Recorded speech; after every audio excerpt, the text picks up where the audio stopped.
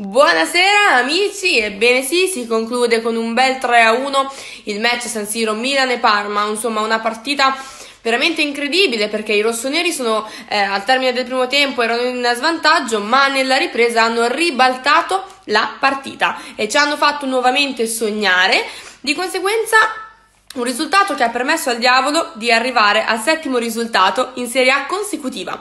Detto questo, io vi saluto e di nuovo e come sempre, forza Milan! Un abbraccio da Martina Zoiro, ciao!